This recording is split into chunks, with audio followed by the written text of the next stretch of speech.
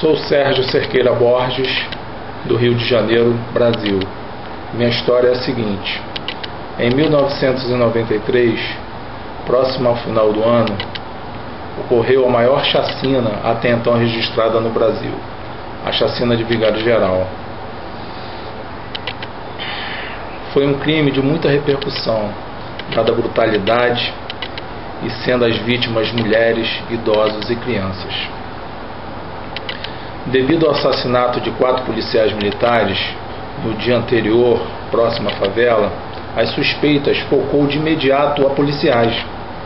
E devido ao clamor público, o Estado se viu obrigado a dar uma resposta imediata à sociedade. Mas pressa e investigação nunca dão resultados justos.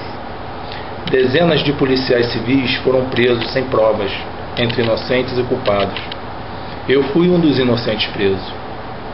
Nos quase quatro anos de prisão preventiva, sofri torturas, humilhações e perdas irreparáveis, quase chegando à loucura.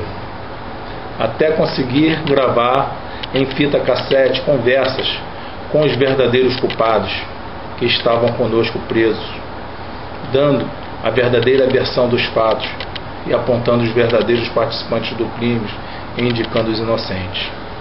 Fui solto e sofri represária, vários atentados. Um destes me aleijou a perna esquerda, de forma definitiva.